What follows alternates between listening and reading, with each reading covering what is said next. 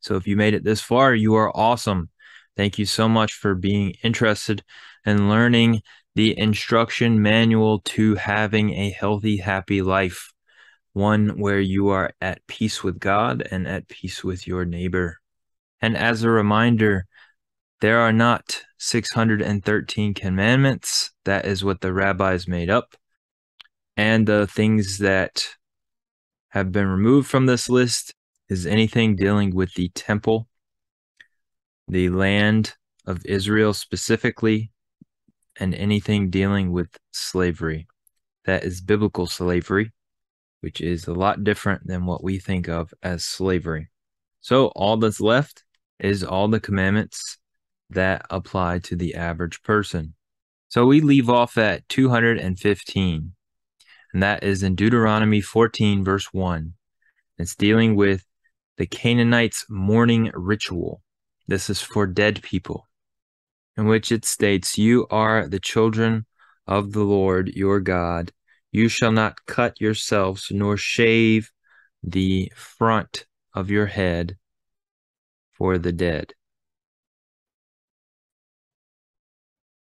And so what you had was when someone died in the Canaanite culture, you were to either rip the hair out of the sides of your beard or rip your hair out of your head, or you would cut your hair, shave your beard, and you would cut yourselves or do tattoos in remembrance for the dead, in mourning for the dead.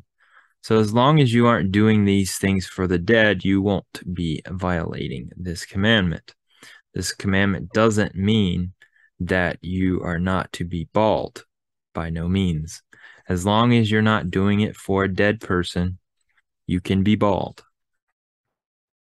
Number 216, Deuteronomy 14, verse 3 not to eat unclean, abominable things, which the verse states you shall not eat any abominable thing. I don't think there's any confusion here. Go and look up abominable things. Now don't eat those. 217, Deuteronomy chapter 14, verse 4, and we need five for the context. This is eating habits, in which it states, These are the animals which you may eat the oxen, the sheep, the goat, and then verse 5, it continues the deer, the gazelle, the roe deer, the wild goat, the mountain goat, the antelope, and the mountain sheep. These are all grazers. They're clean animals. They eat grass, they eat foliage. And so they're not going to be full of diseases, worms, etc., etc. That is what unclean animals do. They go around eating up garbage in the environment and they suck up toxins. And so God knows this and he has figured this all out. And what we're not to do is be eating the garbage disposals of the environment because those toxins will be passed on to you. So God's got clear reasons why he wants you to eat certain animals and why he doesn't want you to eat other animals. Number 218, Deuteronomy chapter 14, verse 6, eating animals again, in which it states, And you may eat every animal with cloven hooves, having the hoof split in two parts, and that chews the cud among the animals. So these are like cows and deer and stuff. So if it has a split hoof and it chews the cud, you can eat it because it's going to be clean. Number 219, Deuteronomy chapter 14, verse 7. And this is dealing with not to eat any unclean animal. See, we're getting these clean and unclean descriptions while they're in the desert. However, the clean and unclean issue does not start with the people at the base of Mount Sinai. It actually starts back at creation. God created the clean and unclean from the very beginning. And you can also see it when Noah is taking on animals into the ark, he is taking on more clean animals than he is for the unclean animals. So this is not a new thing. This started at the very beginning. And also, it's important to remember that Adam and Eve ate something that they weren't supposed to eat. So that's how we got into this mess. Someone ate something that they weren't supposed to eat. Should you be questioning what your eating habits are? I would like to be in step with God on that matter. In which this verse states, Nevertheless, these you shall not eat of them that chew the cud, or of them that divideth the cloven hoof, as the camel, the hare, and the coney. For they chew the cud, but divide not the hoof. Therefore, they are unclean unto you. Number 220, Deuteronomy 14, verse 8 Pork is not food. See, the Bible specifically describes what is food, good for food, and what is not. And so when the Bible uses the word food, it is only in the context of what is clean. You cannot call pork a food. The Bible has already said what is food and what is not. In which this verse states, also the swine is unclean for you because it has cloven hoofs, yet does not chew the cud. You shall not eat their flesh, nor touch their dead carcasses. There's a whole host of scientific reasons on why you should not eat pork. Pigs do not sweat, so when they eat toxins in the environment, it accumulates in their fat cells, and when you cook them, the toxins come out in the meat. And so that's why you get high cholesterol and you get high blood pressure after eating pork. There's also a lot of worms in pork. Pigs are quick to turn cannibalistic. They also eat their own feces. So they are not clean by any stretch of the imagination. And God is trying to protect you from that because with a very unclean animal rotting, it's going to have a lot of diseases, and therefore you should not touch the carcass. Number 221, Deuteronomy 14, verse 9. Clean fish are food. In which the verse states, These you may eat of all that are in the waters.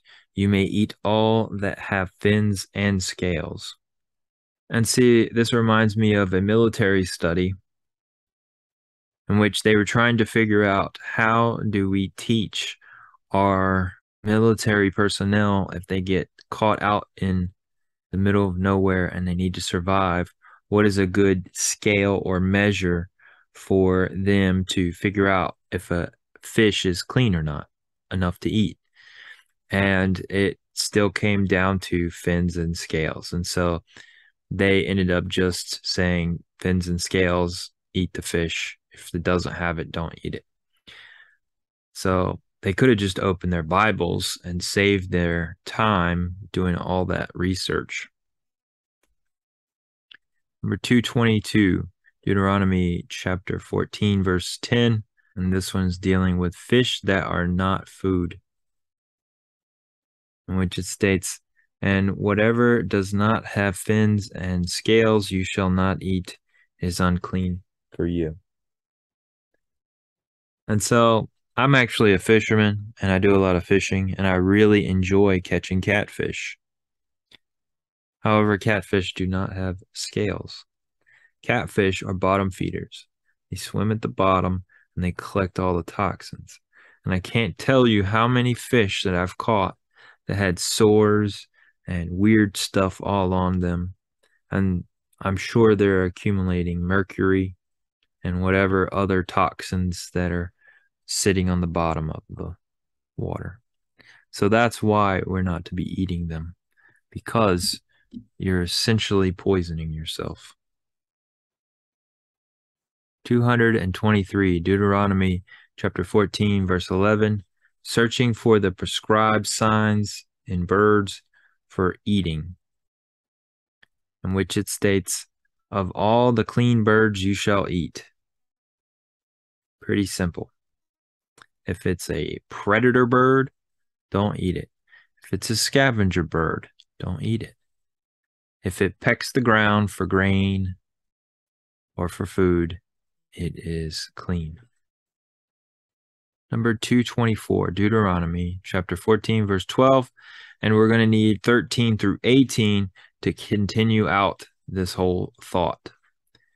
And this is dealing with unclean, not edible birds, which it states, But these you shall not eat the eagle, the vulture, the buzzard, the red kite, the falcon, and the kite after their kinds, every raven after its kind, the owl. And so I want to pause right there because some of your Bible translations will put ostrich. And it's not ostrich, it's owl. The Hebrew word means owl. And there's actually a Hebrew translation issue going on there, but I'm not going to get into it. The ostrich is not unclean. Continuing on, the short eared owl, the seagull, and the hawk after its kind, the little owl, the screech owl, the white owl, the jackdaw, the carrion vulture, the fisher owl, the stork, the heron after its kind, and the hoopoe and the bat. So basically, if it's a scavenger or predator flying creature, you're not to eat it because it is going to be unhealthy. It's going to be full of toxins and it's also going to taste disgusting. I once heard from someone who ate some buzzard meat and they said it tasted like eating garbage. And so it's going to taste like the things that it eats. Number 225, Deuteronomy 14, verse 19. Not to eat any creeping winged, either bat or insect, in which it states, And every creeping thing that flies is unclean unto you, they shall not be eaten. Number 226, Deuteronomy 14, verse 21. Not to eat any animal which dies naturally in which it states, You shall not eat anything that dies of itself. You may give it to the alien who is within your gates, that he may eat it. Or you may sell it to the foreigner. For you are a holy people to the Lord your God. You shall not boil a young goat in its mother's milk. So there's two things in this verse. One, if an animal dies naturally or dies in a tragic accident with another animal and you weren't there and you find it, you're not to eat it. But God says those poor people that are strangers that have come into your land, you can go give it to them or you could sell it to them and let them eat it. I don't think you should because the meat might be rancid, but it's an option according to God. The other thing is, it's just reiterating a Canaanite ritual of fertility. You boil a young goat in its mother's milk. And so this verse is stating that you are not to do that. And we've covered those verses previously. Number 227, Deuteronomy 14, verse 29. Take care of the Levites, the strangers, the fatherless, and the widow. In which it states, and the Levite, because he has no portion of inheritance with you, and the stranger, and the fatherless, and the widow, which are within your gates, shall come and shall eat and be satisfied, that Jehovah your God may bless you in all the work of your hand which you do. So we are to take care of the stranger. We are to take care of the fatherless and the widow.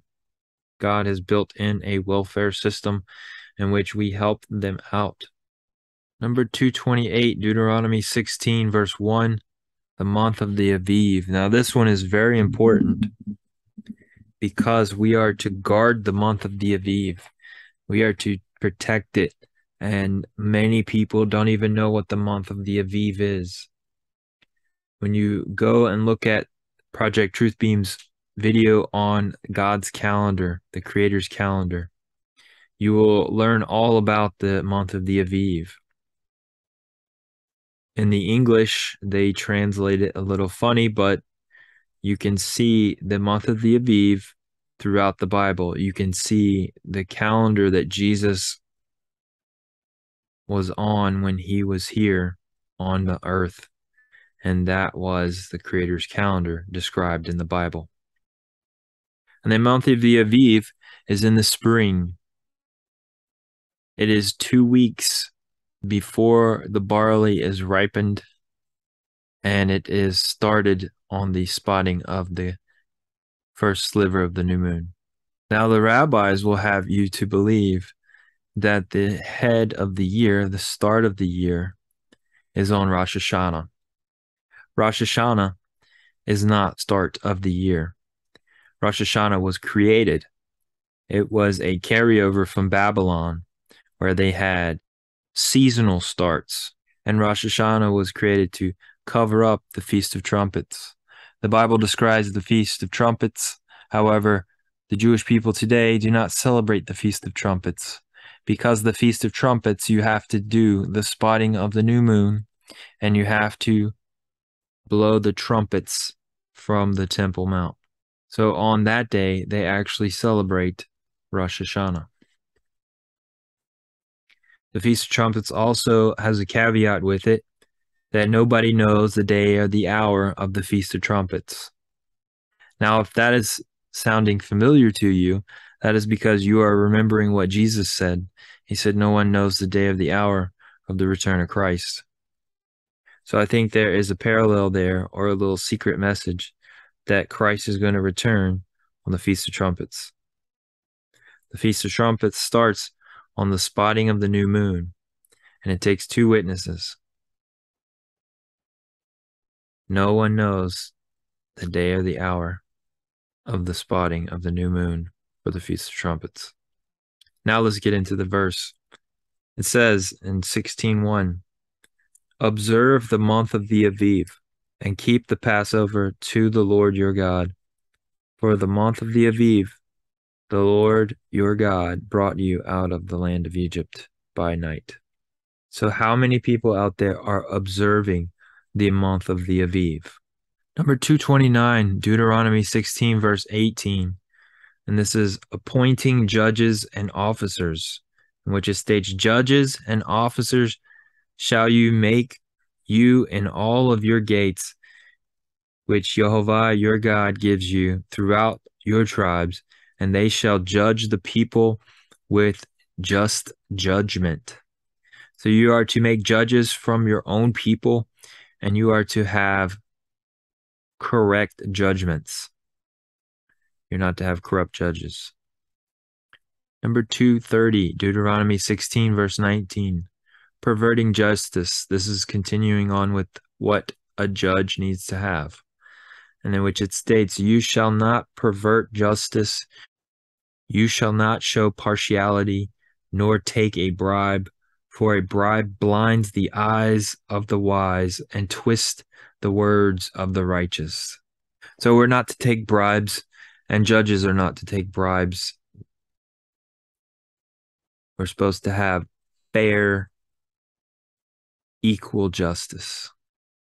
Number 231, Deuteronomy 16, verse 21 idol worship with trees and wooden statues, in which it states, You shall not plant yourself any tree or wooden image near the altar which you build for yourself to the Lord your God. Now, we're not building altars, but this is coinciding with idol worship and what people were doing for idol worship and so we're not to plant specific trees to worship around. And I would stretch that out to putting trees in your house for some ritual, tradition, or some sort of practice and claiming you're doing it for God or a God or any type of gods out there that are fake gods.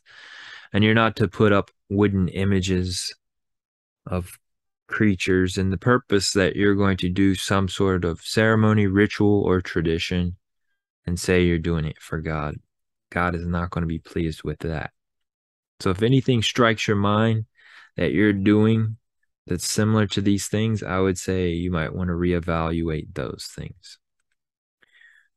Number 232, Deuteronomy 16, verse 22, which is dealing with not to erect any image which people worship, which states, Neither shall you set up any image which Jehovah your God hates. Pretty clear. And he's already told us all the things that he hates. And so we're not to put up anything that represents those things. Number 233, Deuteronomy 17, verse 9. Witnesses required. Bible's pretty clear. You have to have some witnesses if you're going to make a judgment, which it states, Whoever is deserving of death shall be put to death on the testimony of two or three witnesses.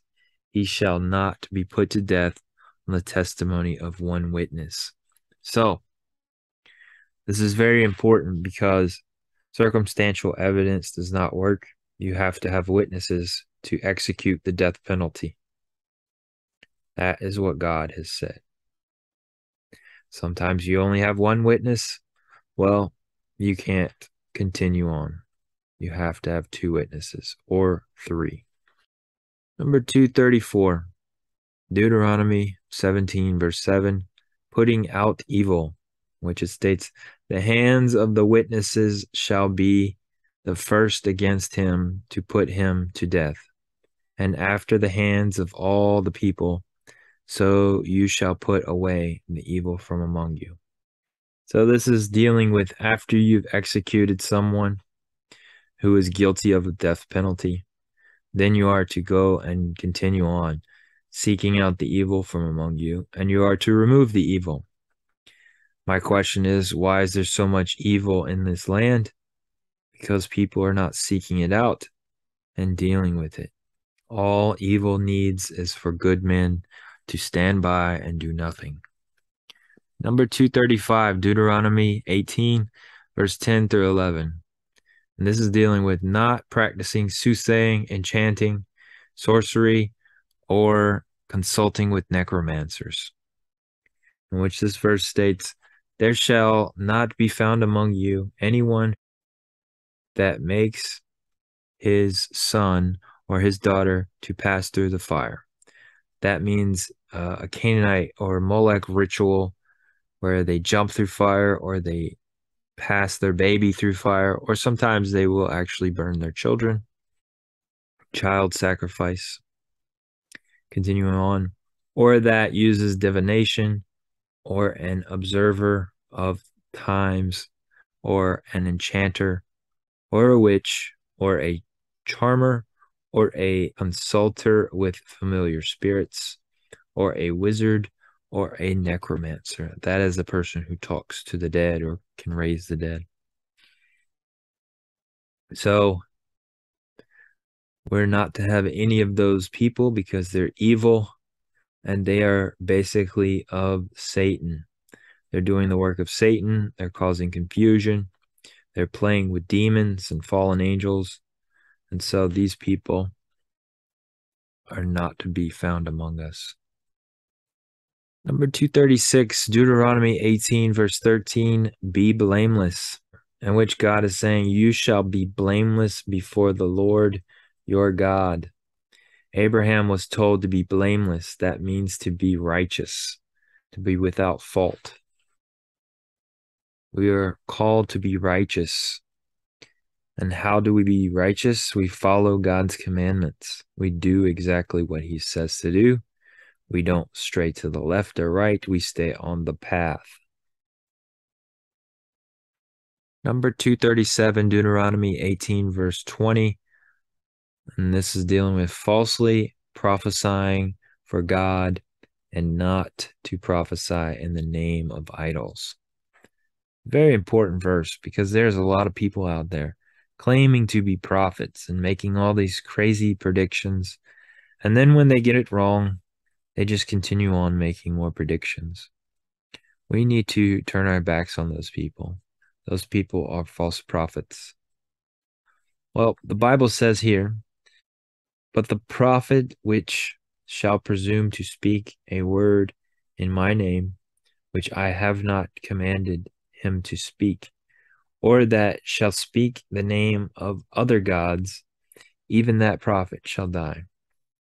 Now, we can't execute that judgment, but a false prophet that is prophesying in the name of God, he will die.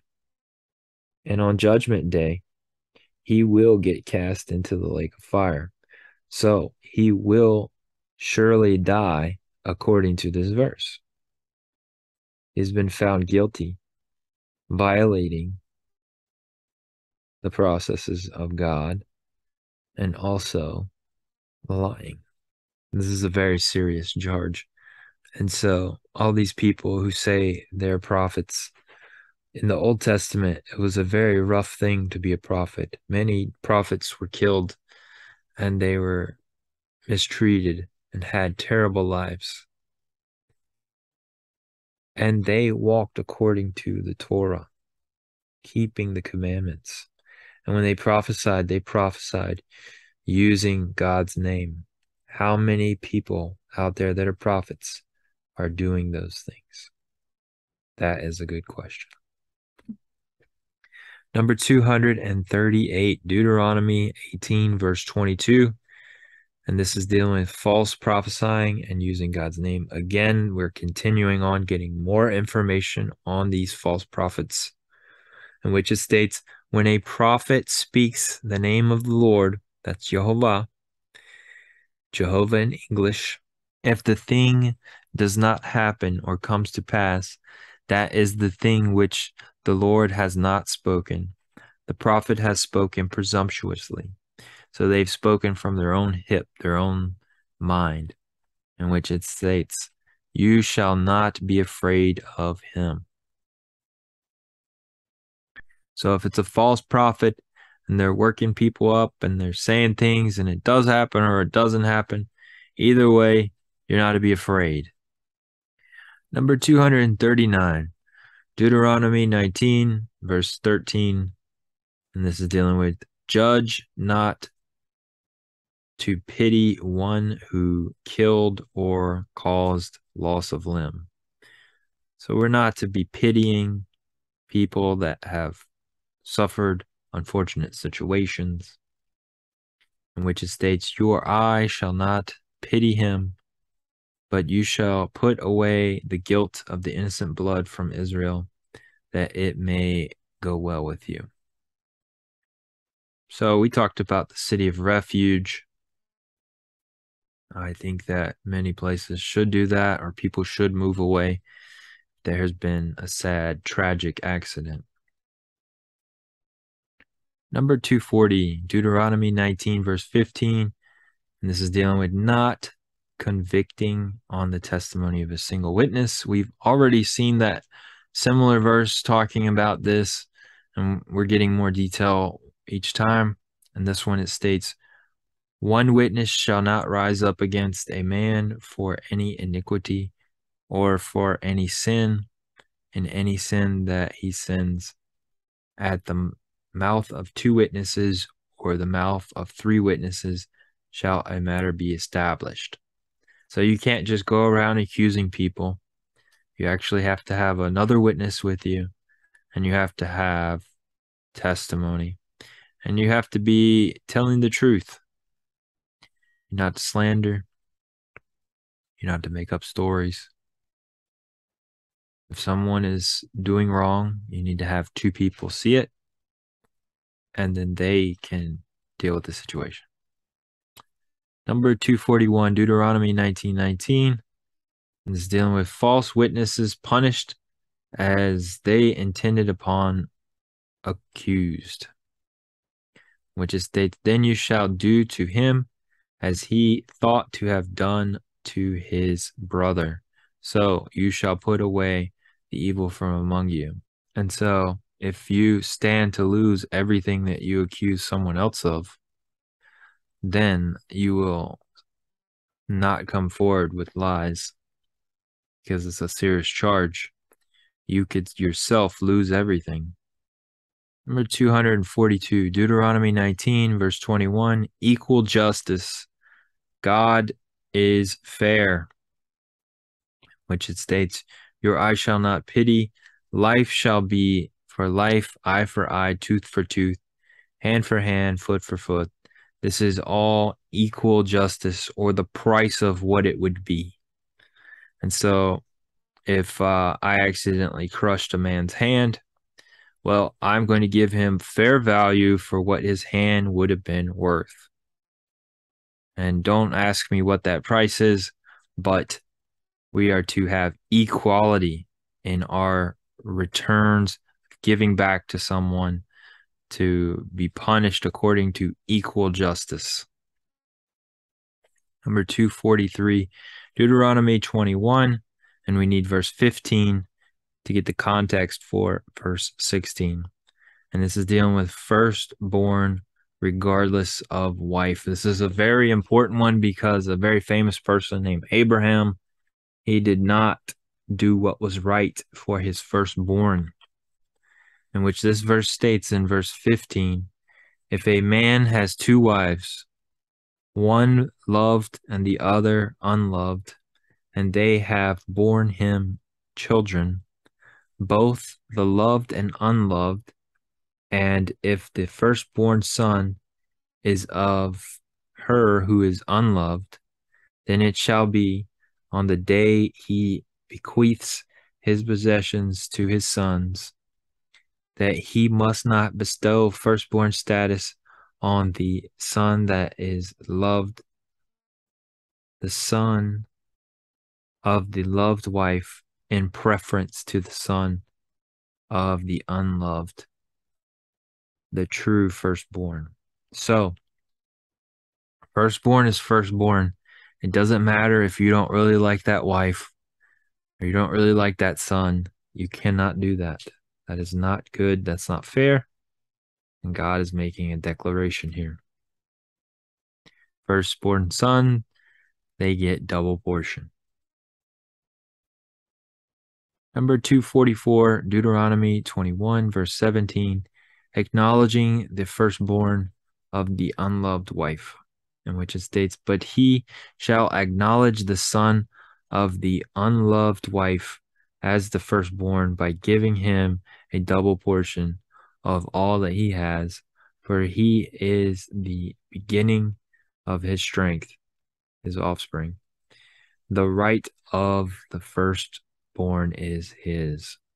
So, doesn't matter. You cannot say that's not my child. I'm not going to take care of him. I'm not I'm going to neglect him even though the DNA says that you're the daddy. You can't just go off and say I'm not acknowledging him. God is putting that rule in place. Acknowledge all your children, take care of them, and bless your children. Number 245, Deuteronomy 21, verse 20. No eating or drinking in excess, that is gluttony and drunkenness, in which this verse states, And they shall say unto the elders of the city, Our son is stubborn and rebellious. He will not obey our voice. He is a glutton and a drunkard. So it is not to be of the people that anybody should be a glutton or a drunkard or rebellious or stubborn. In this case, there is a grown son who is going crazy and not listening. And so they're supposed to take them to the elders of the city to figure out what to do with them. Number 246, Deuteronomy 21, verse 22 and this is dealing with hang after execution. This is after the death penalty, violators of the of certain commandments if someone is deemed worthy of death. In which this verse states, If a man have committed a sin worthy of death, and he be put to death, and you hang him on a tree, he is not to stay there. You're not to leave him there. Hanging. You're to execute the death penalty if someone is guilty of death. And we need the next one to tell us more about why we don't leave them. Number 247, Deuteronomy 21, verse 23, on burial on the same day of execution, which it states, His body shall not remain all night upon the tree, but you shall in any way bury him that day. For he that is hanged is accursed of God, that your land be not defiled, which Jehovah your God gives to you for an inheritance. And that is kind of touching on the land of Israel. But basically, if someone is put to death, you are to go ahead and get them down and don't leave them just laying around rotting for everyone to see. You are to bury them right away. All right, and that concludes part eight of our series in learning God's instructions. I hope this has been a informative and blessing to you. And I hope that you can pass this on. Please like, subscribe, hit the notification. Lee enjoys getting comments. I hope you can join us in the next one, in which we are getting that much more closer to finding out the final number of commandments that apply to the average person today. Thank you so much, and God bless.